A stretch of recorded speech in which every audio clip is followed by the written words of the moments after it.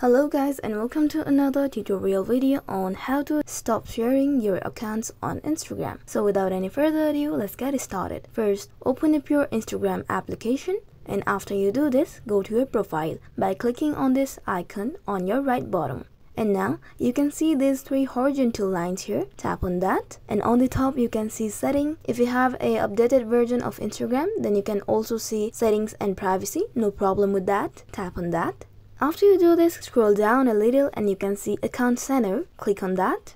If you want to see accounts that are connected with you, then tap on this profiles and you can see the profiles accounts that are connected with you. Get back and you can see this account option here. Tap on it. Now from here you can remove your desirable account. Tap on remove on the account that you want to remove. Tap on this remove account option again and tap on continue button.